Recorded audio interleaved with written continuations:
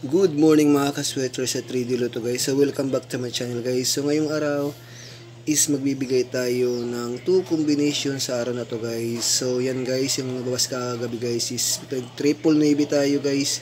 So pusoy tayo, babawi tayo ngayong araw guys.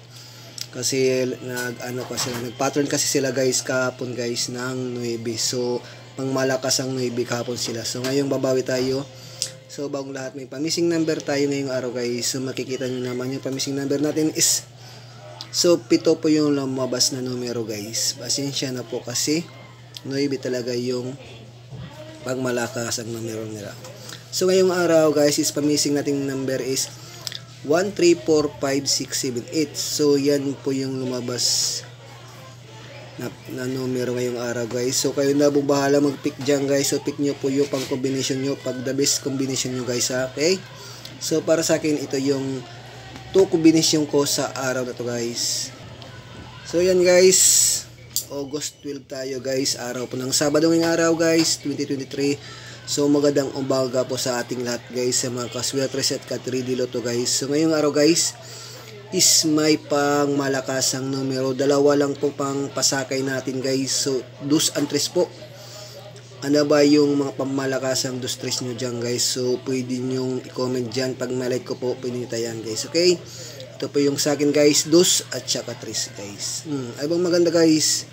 Uh, ibibigay ko po yung pangmalakasang to combination ko sa araw na to guys. So, ready na kayo guys. Ito na po.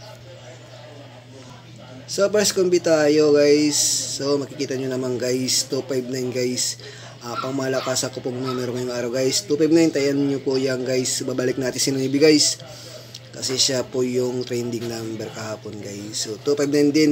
Balikan natin. 259. Ay, pick nyo po yan. Pwede nyo po i-slide dyan guys. Kayo na po balang pa-slide. Postin nyo po nung dos. Uh, kaya na po balitan dito sa 5.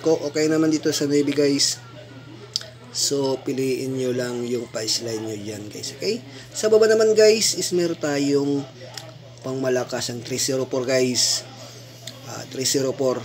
Pick nyo po yan, guys. So, so hindi pa ito lumalabas, guys.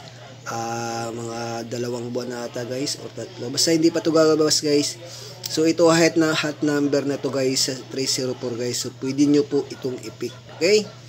Ama pa steel man yan o kaya 3D guys. Pwede nyo tayan steel tsaka sa 3D guys. Pati ito guys okay? So yan po yung 2 combination ko sa araw na to guys. So bago ang lahat guys paki-like and share muna ng aking video.